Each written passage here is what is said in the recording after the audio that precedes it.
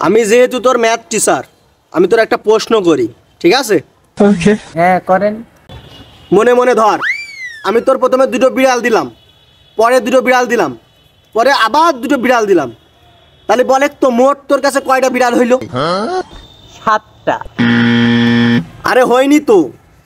ধর আমি তোর প্রথমে দুটো বিড়াল দিলাম তারপর আবার দুটো বিড়াল দিলাম তারপর আবার দুটো বিড়াল দিলাম। এইবার তুই বল মোট কয়টা বিড়াল হইল? সাতটাই তো। আরে সাতটা কি করে হয়? দাঁড়া তোর আমি অন্যভাবে বুঝোস।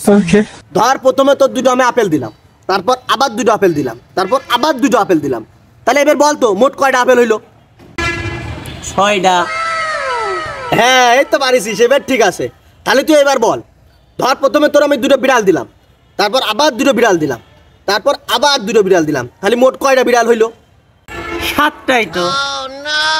ওই পাগলের জাত। আপেল যদি ছয়টা হয় তো বিড়াল সাতটা হয় কি করে?